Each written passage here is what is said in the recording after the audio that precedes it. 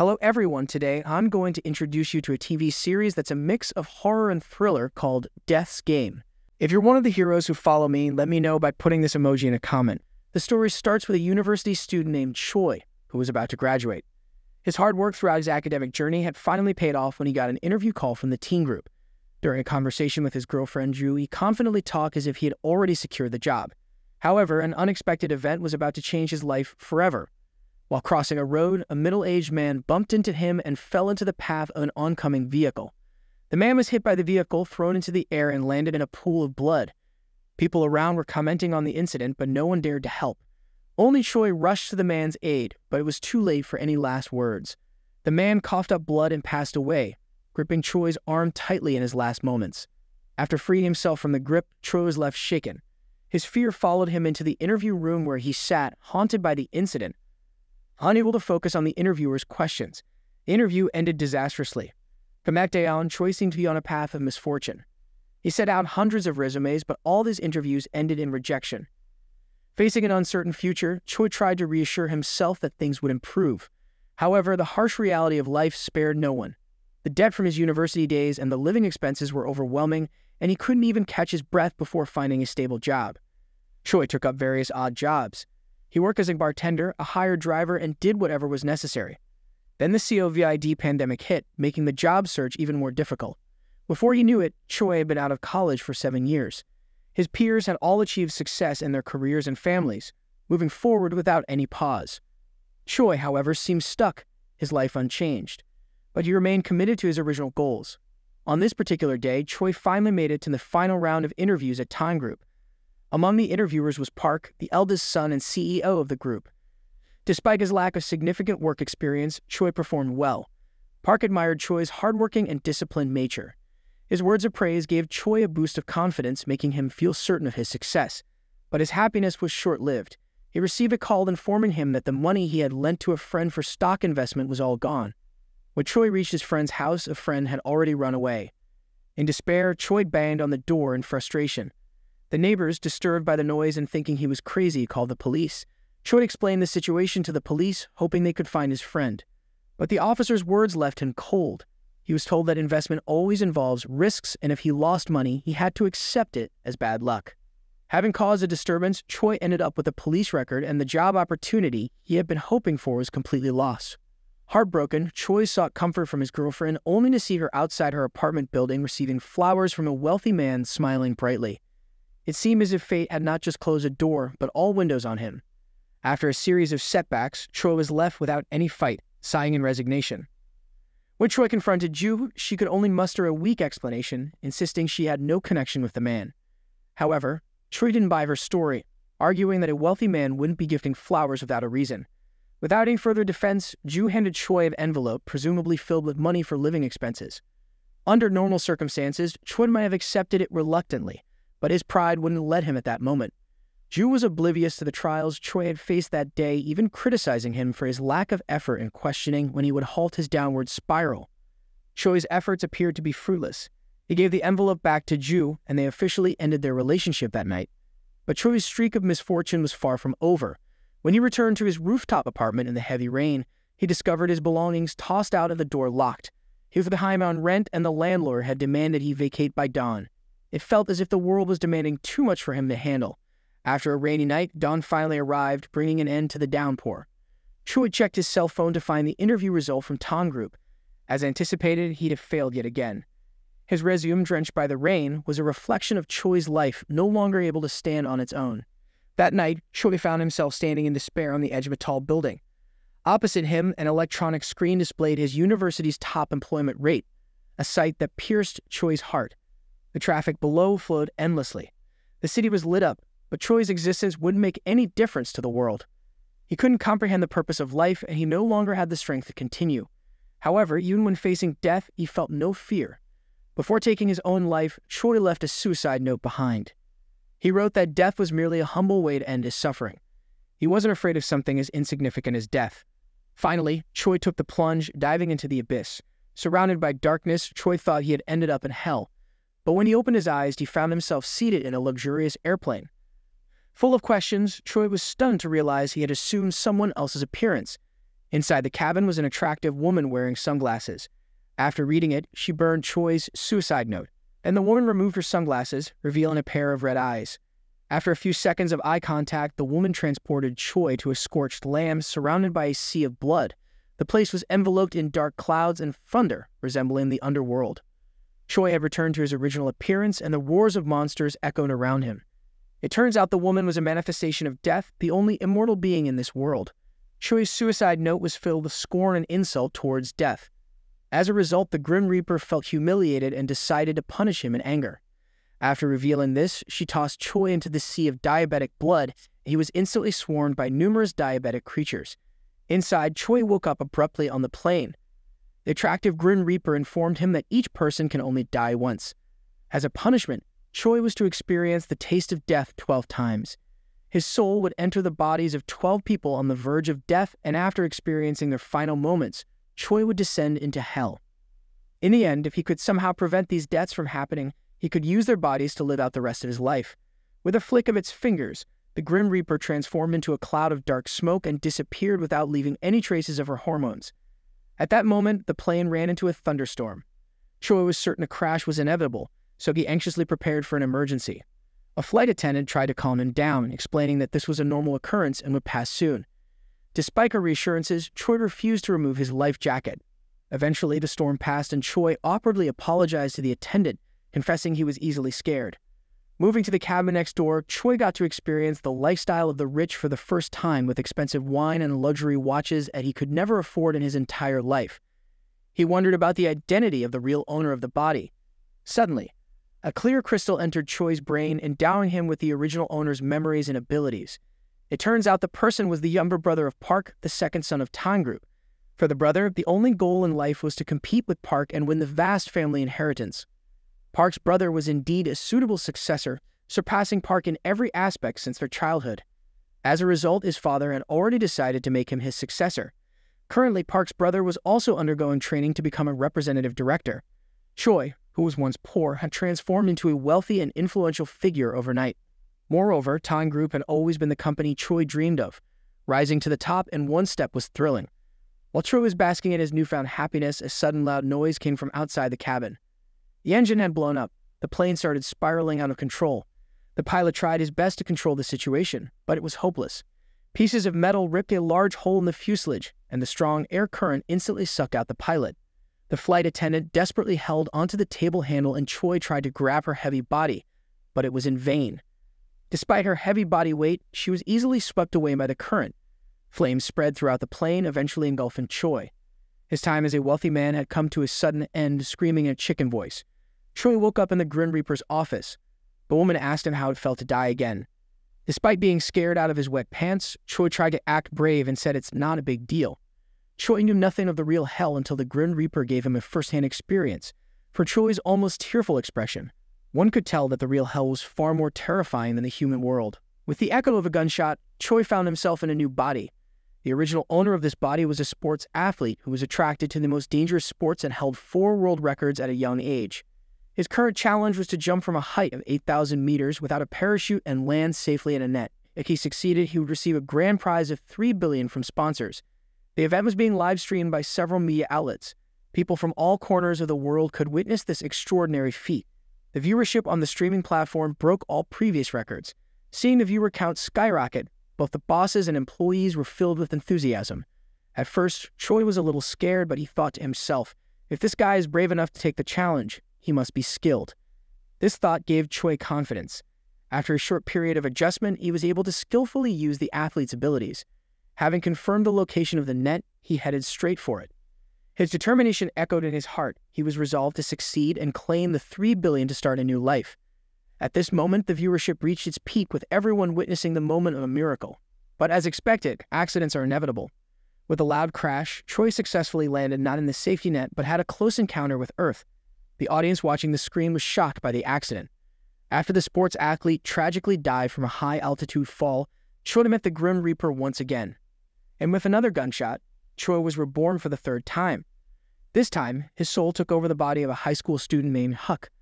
Huck was 17 years old. He lost his father at the age of five and lived with his mother, who worked day and night to raise him. Huck wanted to study hard to repay his mother's sacrifices, but at school he became a victim of bullying. The school bully not only took his money, but also recorded his miserable state on phones for amusement. Not wanting to worry his mother, the sensible Huck kept silent. The hellish school life plunged his spirit into turmoil. In his eyes, the bullies turned into terrifying demons. One day, Huck couldn't take it anymore and warned the school bully that if he was bullied again, he would jump from the building. However, his warning didn't deter the bully who slapped him and insulted him scornfully, saying nobody would care if he died.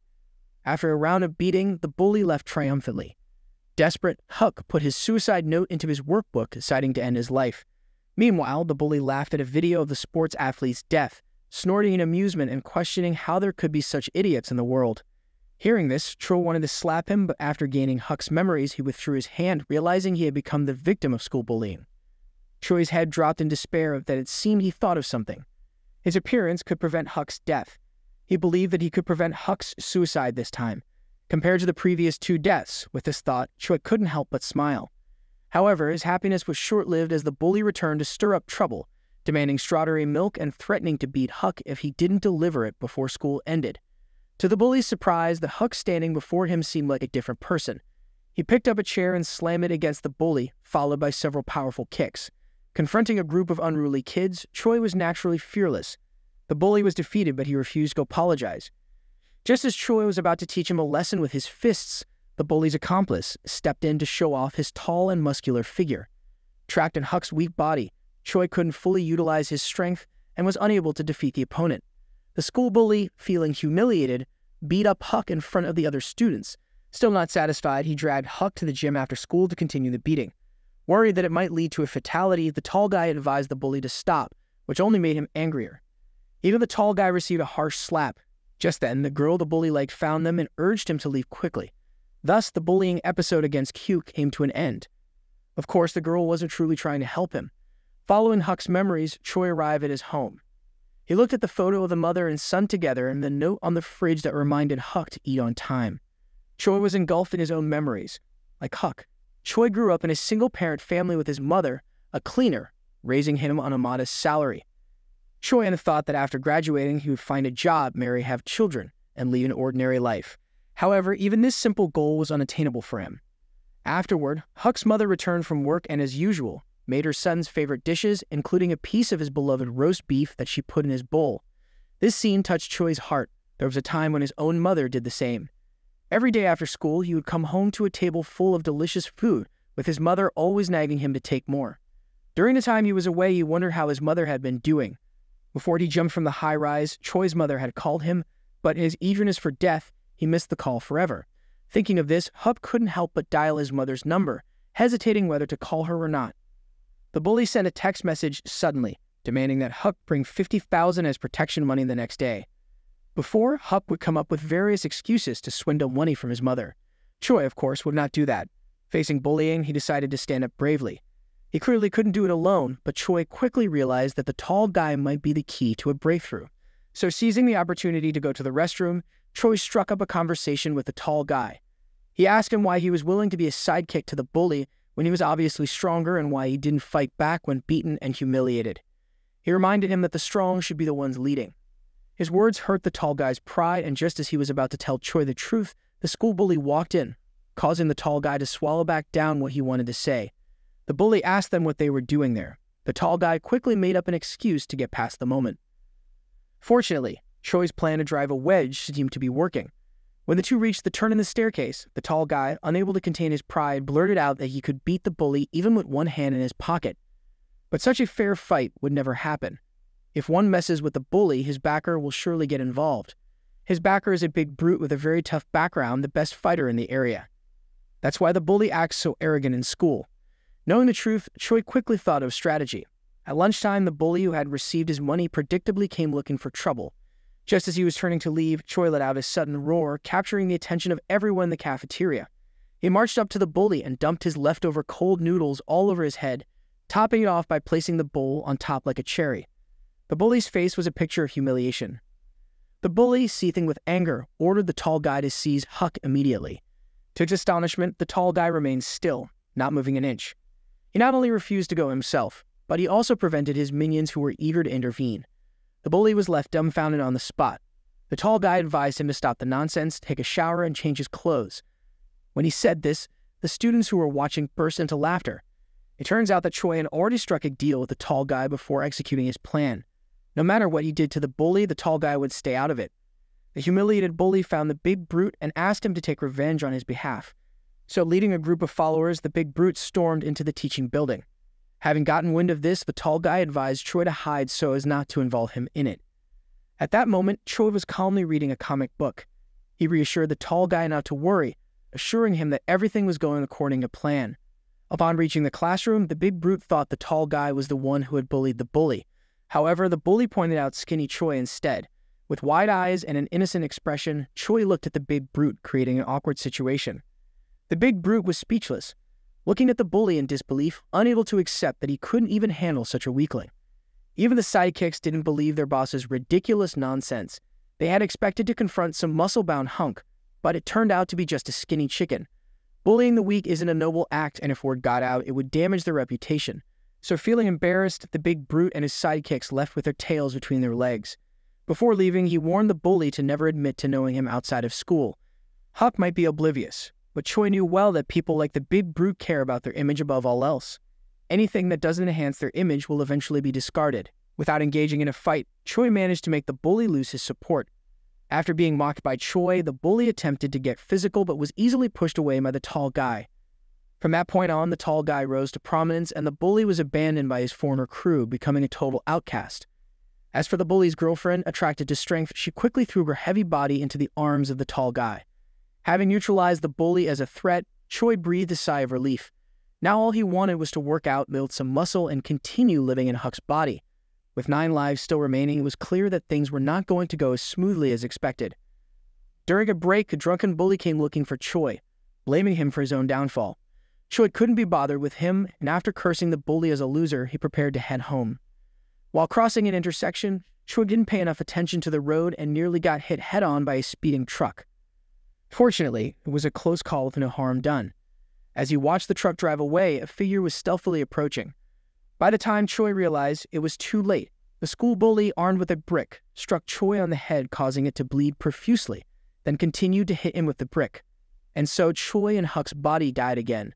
When he regained consciousness, holding his head, he started complaining to the Grim Reaper about the frailty of a high schooler's body and how a few bricks could end him. He even criticized the bully for being so cruel to others, getting angry and wanting to kill someone just because he had a taste of his own medicine. Choi suspected that the Grim Reaper might be meddling deliberately, wanting to see him suffer. Hearing this accusation, the Grim Reaper threw him out, warning him to watch his smelly tongue and words or he won't get another chance at rebirth. After the familiar sound of a gunshot, Choi was greeted with a new life. This time, he became a captive. A gang leader questioned Choi about the whereabouts of a woman and some money. Choi, still not having retrieved his memories, was confused. Observing his lack of cooperation, one of the henchmen produced a bottle opener, intending to gouge out his eyeballs. Just in time, Choi shouted that he would reveal everything but requested a bit more time to recall. Just as the leader was losing patience and picking up a hammer to jog Choi's memory, a memory crystal descended from the sky. It turns out this individual is a hitman who is part of a large and enigmatic gang organization with clients worldwide. Once they accept a mission, they resolve any issue for the client, Despite living a life on the edge filled with danger, the hitman had always managed with ease. That is until he laid eyes on a beautiful woman and was deeply attracted to her, or more accurately, her body. The issue was that this woman was none other than the gang boss's lady. It's a cardinal sin to lay hands on his boss's woman, but the hitman was blinded by love and couldn't resist the temptation. Seeing his beloved woman battered and pleading pitifully for the hitman to rescue her from this hell, he found it hard to refuse. So he stole the boss's hidden 10 billion in savings and decided to elope with this woman. However, during their escape, they were discovered. The hitman was captured by the boss's followers, but the whereabouts of the woman and the money remained unknown. After regaining the memory, Choi used his assassin skills to escape from the chair. Faced with a group of thugs, Choi could only fight alone barehanded. Outnumbered by their numbers, he was on the brink of defeat when he grabbed a dagger from nearby and turned off the lights. In the darkness, Choi wreaked havoc, swiftly eliminating all enemies like cutting pieces of meat. While the thrill was undeniable, Choi quickly realized that assassins like the hitman with too many enemies could die at any moment. He thought it was not worth wasting time on him, but the Reaper had warned him that during the punishment process, Choi could not end his own life or he would suffer more than in hell. Embracing his destiny, Choi decided to locate the hidden 10 billion first, and he might as well enjoy the money while he had the chance. Upon opening the door, he found himself in a moving truck. He then hopped on a motorcycle and sped onto the highway. After the small mob leader woke up, he immediately reported the situation to his boss. The gang boss issued a 2 billion bounty, rallying all his gangsters. As the motorcycle approached the bridge crossing the river, the pursuers caught up. Confronting bullets, Choi evaded them with his excellent riding skills and initiated his fast and furious game of hide and seek. After narrowly escaping an exploding vehicle, Choi was chased by a motorcycle gang. In a tense battle to evade the gangsters, he drove his motorcycle straight into a shopping mall and rushed into the elevator as its doors opened. Reaching the rooftop and before he could catch his breath, the enemies arrived. The gang boss, in a fury, demanded he surrender. But surrender was never an option. Death was inevitable either way, so Choi performed a spectacular drift, flying off with his motorcycle. Miraculously, he landed safely in a swimming pool in a neighboring building. His phone, fallen into the water, lost its positioning signal. After changing into fresh clothes, Choi stylishly left the hotel. His intuition told him he might just make it this time. At the dock, his beloved woman had been waiting for a long time. She cried like a giant baby, saying she thought he wouldn't come and she didn't know what she would do without him and his muscles. She then asked him where the money was hidden. Choi pointed to a broken Tesla boat on the opposite bank, illuminated in the dark. As he dreamt of their future life together, the woman suddenly shot him in the head. It goes with an old saying that the prettier the woman, the more deceptive she could be. His sincere love was wasted, for the woman had always been after the money and took advantage of him. Returning to the Hell Transit, Choi was not saddened by the woman's betrayal. But the place hiding the 10 billion could only be reached by boat, a location only he knew. With the man's death, the woman had lost both man and money. Choi decided that as soon as his new life started, he would immediately go after the cash. However, seeing Choi's smirk, the Reaper likely guessed his intentions. Then a gunshot sounded and a new cycle began. In his latest reincarnation, Choi became a prisoner, locked up in jail, wondering how he could possibly claim the 10 billion waiting outside. Luckily, he learned from a fellow inmate that he would be released in just four days. Among his prison mates, there was one peculiar individual with psychological issues evident from the strange drawings on the wall. Choi was warned by the younger inmates to endure and avoid any conflict with this unstable person at all costs. Choi had yet to regain his memories and was confused about everything around him. When he finally got a clear look at the face of the psychopath, he was shocked. This was actually the school bully who had killed Huck with a brick in the past. What a twisted fate. Remembering his previous encounters, Choi, filled with anger, didn't hesitate to beat up the bully. His fellow inmates urgently stopped him, advising him against impulsive actions, warning that it could lead to his demise. As the two stood there staring each other down, the memory crystal finally appeared. The man's name was Sang. His dream was to become a martial arts master, but because of his family's poverty, he had to give up. The money for his martial arts training was borrowed, and when he couldn't repay it, the lender violently demanded it from Sang's mother. Just as mother and son faced dire straits, a lawyer approached him. The lawyer represented a tycoon who had driven drunk and seriously injured a girl before fleeing the scene. If Sang agreed to take the blame for the tycoon, he would be compensated with 200 million. At that time, Sang was only 18 and not yet of age. According to law, he would only receive a suspended sentence and would be released soon. In order to alleviate his family's financial difficulties, Sang agreed. He surrendered himself at the police station, but things didn't proceed as expected. During a trial, the injured girl succumbed to her severe injuries, and Sang's initial suspended sentence was converted into a two year prison term. Sang wished to speak with the tycoon, but such a high profile individual wouldn't visit a place like a prison. When Sang met with the tycoon's lawyer, he argued that with the increased severity of the criminal law, the compensation should naturally increase. As a result, Sang demanded 1 billion from the tycoon, threatening to expose how the law was twisted and a minor was made to take the blame once he was released. But the lawyer's response was indifferent. If Sang wanted to stir up trouble after his release, they would ensure he never got out. After retrieving his memories, Choi confronted the school bully who had a fierce, intimidating presence that kept other inmates at a distance. But Choi knew the truth as clear as day. The bully strutted around school with confidence because he had someone to back him up. Without that support, he was nothing. As soon as the bully entered prison, he established his persona by claiming he had killed someone and that he couldn't forget the taste of blood, asking others how they wished to die. His words silenced everyone except for Choi, who couldn't help but laugh at the act. Choi had his fellow cellmate keep watch at the door, signaling if guards were approaching. Then he slapped the bully multiple times. The bully, who could only utter threats, didn't dare retaliate and soon completely lost his composure, dropping the act. When the name Huck slipped out during a conversation with Sang, the bully froze, wondering how Choi knew the classmate he had killed. Subsequently, Choi shared the bully's wrongdoings with the other inmates. They were already disgruntled about being deceived, and the bully's mistreatment of the weak only amplified their contempt. So they united and gave the bully a sound beating.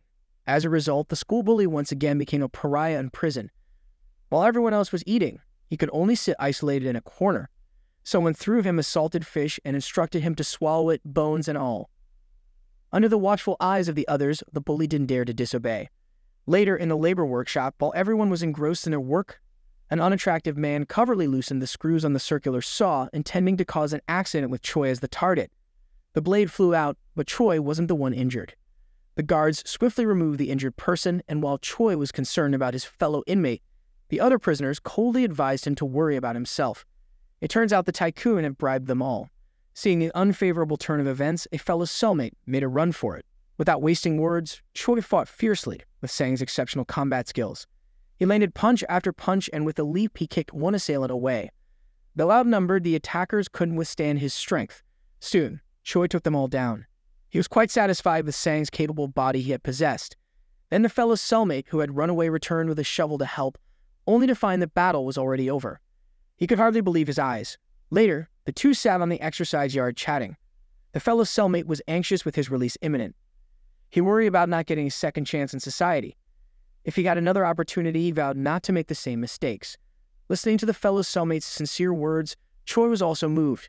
He had already been given five chances to start over. If he had known this was how things would end, he would never have impulsively jumped off the building that night. Choi comforted him, saying it's still not too late for him to make a change. On the eve of his release, while the rest of the inmates were asleep, the school bully suddenly sat upright. With a vacant stare fixed on Choi, it was evident he was plotting something. Holding a grudge after failing to defeat Choi in a fair fight and resorting to underhanded tactics, instead, had sharpened the handle of a toothbrush to a lethal point, waiting for an opportunity to strike Choi down. However, his plan hit a humiliating roadblock when Choi caught him in the act. The bully had already been outsmarted once and now his second attempt was foiled. Choi was angry enough to want to kill the rascal, but he quickly regained his composure. He taunted the bully by asking if his slaps hurt him more than those from the tall guy. At this, the bully was taken aback, wondering how Choi could know the tall guy. Pretending, Choi claimed he had the third eye and could see ghosts, saying that Huck's ghost was standing right behind the bully and had told him everything.